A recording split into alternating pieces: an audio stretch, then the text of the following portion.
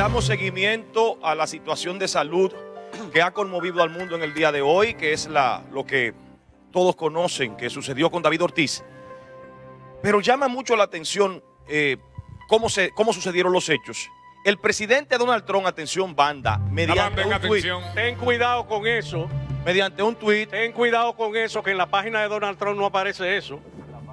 presuntamente, En la página de Donald Trump no aparece eso. Bueno, lo pondría, pero hay que tener mucho cuidado porque No, somos si comunicadores. puso, perdón, perdón, perdón, perdón, de eso yo sé. Somos comunicadores y no nos podemos poner a inventar. En la página Real Trump no aparece ese post. si usted me permite que yo culmine con el comentario,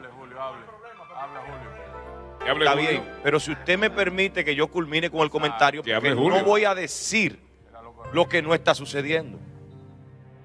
Y usted no, me, no, no esperó que yo terminara. No, no, no, pero me adelanté. Vos tú sabes que tú sabes que el malvivir de aquí quiere bloquear cuando las cosas no le convienen. Madre mía, hay un mal vivir aquí. No entendí eso, tío. Cuidado con eso.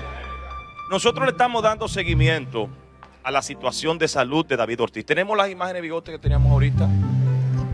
Está nuestra unidad móvil de eh, Noticias SIN, que también está dándole seguimiento al caso y es posible que más adelante pues entremos en contacto con parte de nuestro equipo que está en la clínica Abel González en este momento. Decía que el presidente Donald Trump se le atribuía un tuit donde daba una información acerca de lo que sucedió con David Ortiz. Precisamente estuvimos buscando en la página de Donald Trump y no aparece ese tweet.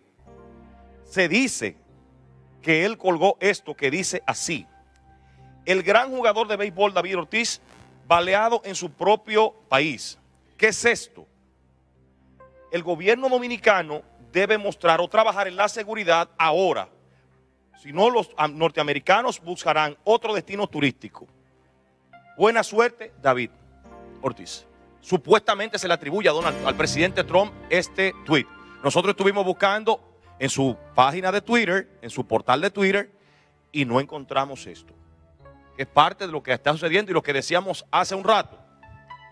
Nos Lo- abocamos a las informaciones oficiales porque se han dado versiones en torno al caso que corresponden a la especulación, Abigail. Y lo primero, Julio, que eh, eh, esas mentes perversas que escriben esto tienen Sí. que ver que donde aparecen los locos y matan en una universidad o en un bar 20, 30 en Estados Unidos. O sea, Donald Trump no puede hablar de un hecho que pasa en República Dominicana doloroso para los dominicanos Ah. más que para todo el mundo, porque David Ortiz es un héroe en este país, aunque diga ahorita eh, nuestro amigo eh, haya dicho que aquí no lo quiere, no, no, aquí queremos a David Ortiz como lo que es, lo que pasa que nosotros eh, lo vemos más a menudo, pero a David Ortiz lo queremos porque es un héroe de la República Dominicana que puso el nombre de la República Dominicana en alto.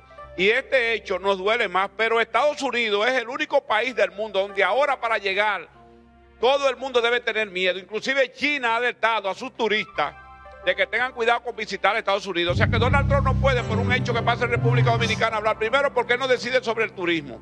Segundo, porque en México matan guaguas llenas y el turismo sigue. En Alemania hay problemas y el turismo sigue. Ahora, ¿qué es lo que pasa con República Dominicana? Que esto está tan politizado que la gente aprovecha cualquier caso para decir, eso es el gobierno, esa es la inseguridad. Y yo también podría especular aquí y decir, investiguemos bien esto de David Ortiz, porque podría ser para hacerle daño al gobierno. Vamos a continuar. Nosotros estamos dando seguimiento a este caso y más adelante tenemos información para ustedes.